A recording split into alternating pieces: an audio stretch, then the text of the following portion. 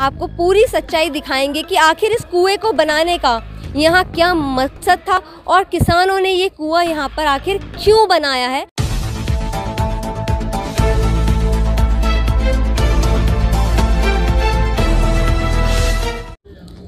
ज़मीन जल चुकी है, आसमान बाकी है, सूखे कुएँ तेरा इम्तहान बाकी है। वो जो खेतों की मैंडों पर उदास बैठे हैं, उनका अब तक ईमान बाकी है। ए बादल, इस बार बरस जाना समय पर क्योंकि किसी की ज़मीन गिरवी है। नमस्कार, मैं प्रिया त्यागी और आप देख रहे हैं एमजे खबर। और मैं लेके आई हूँ आपके लिए एक नया शो जिसका नाम है कहानी आंदोलन की। तो हम शुरू करते हैं आज की पहली कहानी यहाँ से। आप यहाँ साफ़ देख सकते हैं कि यहाँ पर एक कुआ है और यहाँ पर किसान आंदोलन में हम लोग मौजूद हैं। गाजीपुर बॉर्डर पर। आप देख सकते हैं कि किस तरीके से ये कुआँ बनाया गया है। आपको पूरी सच्चाई दिखाएँगे कि आखिर इस कुएँ को बनाने का यहाँ क्या मकसद था और किसानों ने ये कुआँ यहाँ पर आखिर क्यों बनाया है? क्या दर्शाना चाहते हैं किसान यहाँ पर इस कुएँ को बनाकर? आखिर आप देख सकते हैं कि पानी किस तरीके से बॉटल में कैद हो चुका है। एक समय था जिस समय लोग कुएँ से पानी पिया करते थे और मुफ़्त में जो हमें पानी अच्छा जल, मिलता था स्वच्छ जल, आज वो बोतलों की जंजीर में कैद हो चुका है। आप साफ़ देख सकते हैं कि ये जो बोतल में कैद पानी है, उसकी कीमत लग चुकी है, यानी पानी की कीमत भी आज की तारीख में लग चुकी है।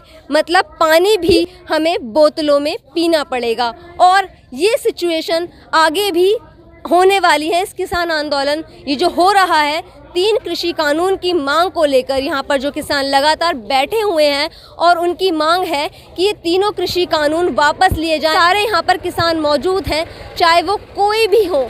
हिंदू हो, मुस्लिम हो, जाट हो, सिख हो, यहाँ पर सभी तरीके के किसान मौजूद हैं। छोटे किसान भी और बड़े किसान भी। और उनकी ये लड़ाई है कि हमारा जो पानी है, वो इस बोतल में कैद ना हो। और जो हमें पानी की, पानी क्या, हर एक चीज़ आज आने वाली तारीख में बोतलों में या पैकेटों में कैद हो जाएगी। ये इसका संकेत है। जो किसान आंदोलन या किसान कर रहे हैं, उनका साफ़ कहना है कि यदि ये तीनों कृषि कानून लागू हो जाते हैं तो इसी तरीके से हमें पैकेट में खाना पैक होकर मिलेगा और बोतल में पानी बंद मिलेगा। ना कि हम अपनी स्वतंत्रता से पानी पी सकते हैं और खाना खा सकते हैं। आप साफ़ देख सकते हैं, यहाँ पर सारे किसान मौजूद हैं। अब हम आपको दिखाएँगे कि किस तरीके से यहाँ पर लोग लगे हुए हैं अपने काम करने में। आप देख सकते हैं कि किस तरीके से यहाँ पर सेवा भाव दिखाया जा रहा है और लोगों की लगातार सेवा इसलिए की जा रही है ताकि हमें खाना आगे पैकेट में ना मिले, ताकि वैसे हमारी देश में इतनी ज़्यादा भुखमरी है और अगर ये तीनों कृषि कानून लागू हो जाते हैं तो उनका साफ़ कहना है कि कॉरपोरेट घराने को इससे फ़ायदा होगा, आम जनता, मजदूर को इससे कोई फ़ायदा नहीं होने वाला है। और ये आप सच्चाई देख सकते हैं कि यहाँ पर किस तरीके से खाना बनाया जा रहा है, लोगों की सेवा की जा रही है, ताकि ये लड़ाई इनकी अकेले की नहीं है, ये लड़ाई सिर्फ़ किसानों की नहीं है, ये लड़ाई बच्चों की, बुज़ुर्ग की, महिला की, हर एक वर्ग के लोगों की लड़ाई है ये। आप यहाँ देख सकते हैं कि किस तरीके से ये लोग सेवा भाव कर रहे हैं और और ये लड़ाई सिर्फ़ अपने लिए नहीं लड़ रहे हैं, उनका साफ़ कहना है ये। अब जन आंदोलन बन चुका है ताकि सभी को फ़ायदा हो। अगर इस किसान का सब लोग सपोर्ट करेंगे तो उनको बहुत ही फ़ायदा होगा और अगर ये तीनों कृषि कानून लागू हो जाते हैं तो उन्हें कोई फ़ायदा नहीं होगा।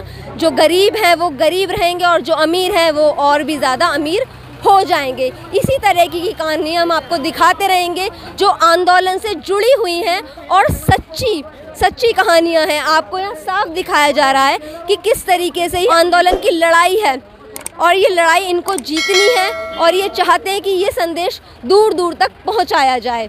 धन्यवाद।